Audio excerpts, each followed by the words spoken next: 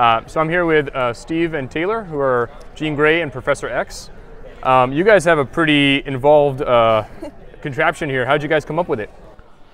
It was making use of what we had available with the uh, resources, and it was my daughter wanted to do something together, so we built the whole console and used a power chair we had in our shed and just attached everything to it and just like I said, making use of what we had and just trying to do a good father-daughter project. Yeah, that's that's really incredible. And what and what made you decide to do these particular characters?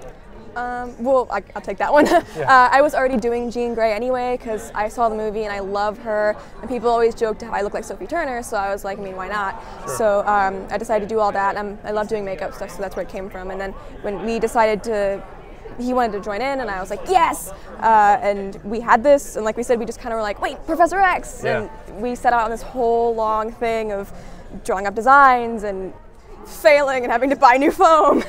um, but this is the first thing we've ever built, actually. So. And uh, how long did it take you guys to put it together? Month. About a month. Two months. Oh wow, M- month and a half. That's pretty incredible. Month-ish, I think. So do you guys have a background that made this a lot easier to put together? A month seems really fast. I mean, I did technical theater uh, okay. all the time in high school, uh-huh. um, and I did, theater all four years. So, okay. like, we learned how to like build set stuff and, right. and different materials and um, tools and stuff. So I kind of had an idea, okay. but I didn't really know what I was doing. I just, I mean, I always, I've always been good with my hands, and just, yeah. you know, even many years ago when I was back in school, I did a lot of woodworking and crafting oh, and all. So. He's really good at being able to like look at something and just he's a mental person. He just he looks at something yeah. and he just has it. Yeah. And he's good at that. So.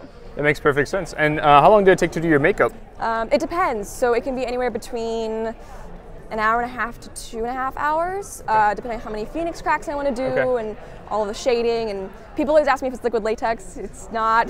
Again, I'm not rich.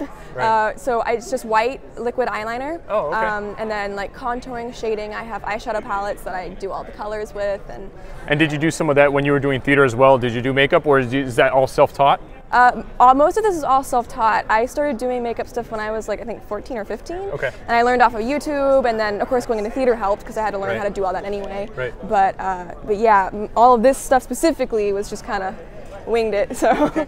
Well, thanks for talking to me, and good luck, guys. Thank, Thank you, you so much. Thank you.